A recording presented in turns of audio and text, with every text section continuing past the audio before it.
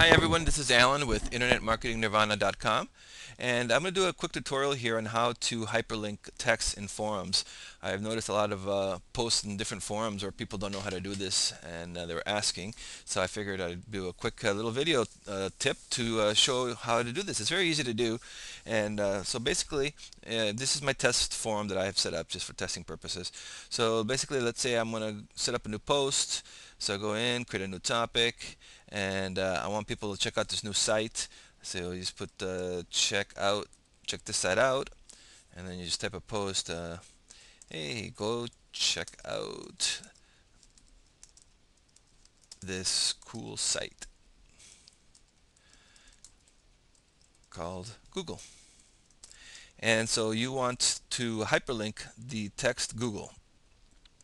So all you need to do is just go to the beginning of the of the of the text that you want to hyperlink and open up a bracket type in URL equals and then just type in the URL that you want to um, that you want to hyperlink to.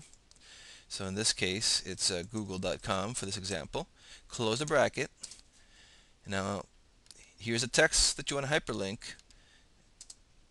At the end of the text that you want to hyperlink open up a new bracket and then do a, a backslash URL to close the URL tag and then close that bracket as well that's it. That's your code right there. So basically, this text right here, Google, that's going to be a clickable link. And that's it. It's very simple to do. You can even uh, copy and paste this into a notepad and so all you need to do is just paste it into your forums that you're posting at and you just need to change the URL and the text and you're ready to rock and roll. So let's see this bad boy in action. Go ahead and uh, submit this post and it'll just take a few seconds here as it uh, as the post goes live. And uh, there you have it. You see? Hey, go check out this cool site called Google. And as you can see, that Google is a clickable link. So you click on that, you're going to go to Google.